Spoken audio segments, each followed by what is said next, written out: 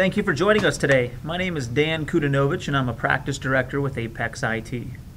We're all here today to get some insight into the Oracle Sales Cloud, and these fast casts were created to quickly show you some tools native to the Sales Cloud that can help your sales teams perform better. From initially creating a territory to adjusting it to managing the quota for the territory based on real time data, we'll show you how it all can be done in the Oracle Sales Cloud. Today, we'll be demonstrating the Territory Management module. So for our agenda, we'll briefly introduce you to Apex IT. And again, we're highlighting that this is our second series of fast casts, where our focus is on extending the application all within the same cloud. Today, we'll showcase some of the benefits of using the territory management functionality. We'll present a day in the life of scenario in our demonstration today.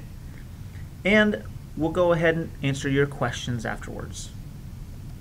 Now, Apex IT is an Oracle Platinum partner, and we participate in the CRM Invested Partner community. Now, this is an invite only community that gives us access to the best and brightest of Oracle's product strategy and product development teams and trainings that aren't publicly available. So, Oracle's investing in us, we're investing in Oracle, and because of our relationship and our CRM implementation successes, uh, we received the Specialized Partner of the Year for Customer Relationship Management in North America.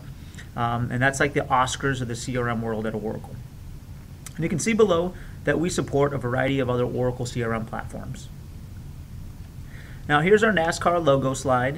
Since 1997, we've had over 1,250 engagements in a variety of different industries, and we have a lot of CRM experience, as you can see.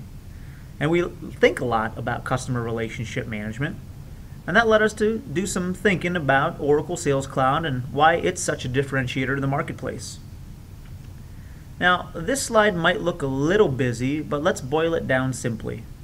Oracle Sales Cloud is an all-encompassing CRM solution that provides a variety of ways to interact with it, that has a variety of functionality all in one cloud and not through other third parties, with integrations to social media, and has flexible deployment options. So without further ado, let's take a peek at the Oracle Sales Cloud Territory Management module.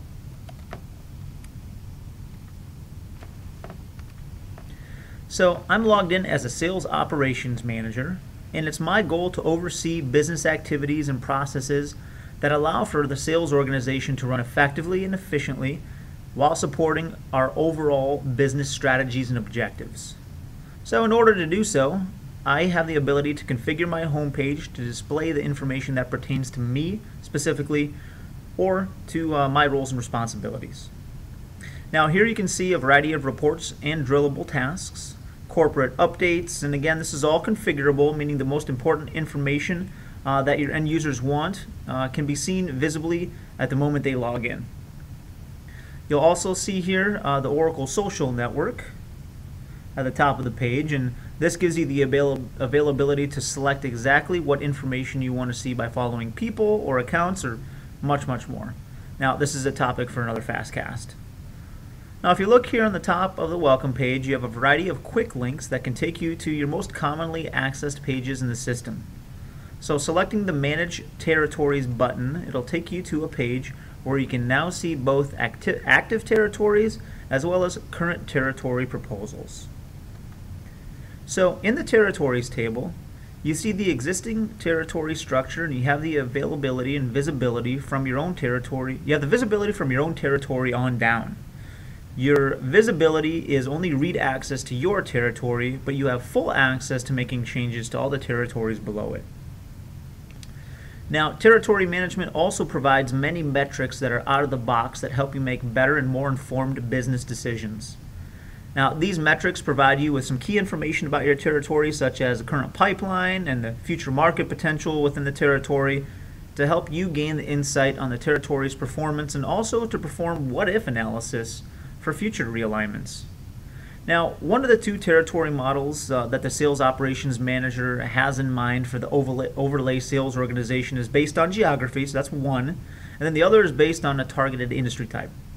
Now, you can see how these two models are represented in the proposal here and perform some analysis to help you guide and decide which model would deliver the best results. So first we're going to take a look at the territory based on geography in our territory realignment proposal. Now, as you can see here, the resulting metrics that include closed revenue, open revenue, and total market potential for each territory. Now, since this overlay sales organization will be selling a new line of servers that has been introduced, there's really no historical data to help in the sales planning process. However, though, uh, you've got revenue opportunities that have been generated by the sales predictor engine uh, for the new server line, which enables you to perform this analysis based on the same set of planning assumptions specified in the prediction rules. Now, this data is captured in the total market potential metric. Now, you can view the total market potential across the geography model and industry model to see how well they are distributed. So in viewing the graph, you can see that there's an imbalance in the market potential across the three geo-based territories. With the West region territory, it's got a specifically or significantly higher potential for the new servers than its peers. So what we're going to do is we're going to take a look at a second territory model and we're going to go by industry type. now, the market potential seems to be more balanced in the industry-based model. So this is the model that ultimately we're going to decide to use. So while there are many important factors that may have to be taken into account in making this type of decision, it's clear from the analysis we just did that the industry-based model is more equitable and balanced in terms of market potential that exists within each of the territories. So in the territory management module, you can see that the, uh, or you can also ask the system to validate the model before pushing any changes into a live production environment. And just to cover your bases, you've got the ability to do a sanity check and make sure that the model is valid and it doesn't have any gaps or overlaps in coverage. So we're going to hit the validate territory function to see if it can detect any gaps or overlaps in territory coverage. And seeing as there are none, we're now ready to activate the proposal, and you simply do so by selecting the Activate button.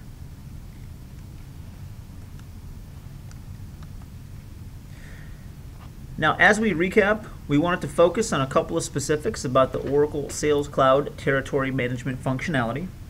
Uh, number one, you can start out by building a territory plan that's developed using real live data without impacting the active territory and it can also automatically detect gaps and overlaps in territory coverage. Uh, you also have real-time territory metrics and embedded analytics to assess effectiveness of these territories. And this is uh, extensible all within the Oracle Sales Cloud, keeping it all in one cloud and not through additional non-native third parties. So we hope you've enjoyed your glimpse of the Oracle Sales Cloud and specifically today its territory functionality. Now here are a few additional dates of some upcoming Fastcasts, and since you registered for this one, we'll get those details out to you for future Fastcasts. And now we've got some time for Q&A, and I've got with me a solution consultant, and together we'll do our best to answer your questions. And if we can't today, we'll work with you offline to get the answers for you.